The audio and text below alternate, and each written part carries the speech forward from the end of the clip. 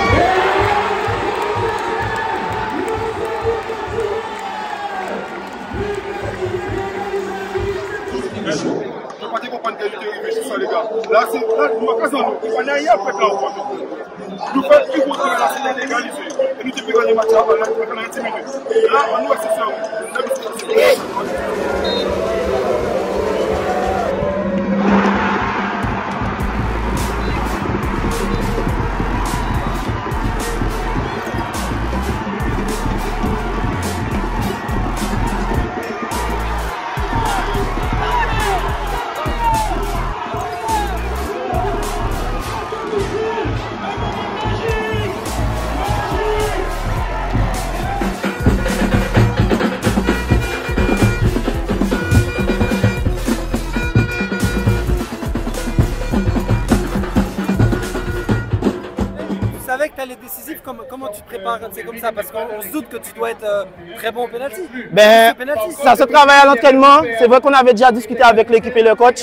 Donc on savait que si on allait jusque-là, que j'allais rentrer, c'est chose faite. Et après, le gardien fait son travail, c'est mental. Qu'il joue de la première jusqu'à la 90e ou qu'il rentre dans le jeu, quand on va jusque-là, il faut être mental, décisif pour son équipe. Incroyable les émotions, 32e de finale. C'est vraiment incroyable. C'est une page encore que le CSM écrit.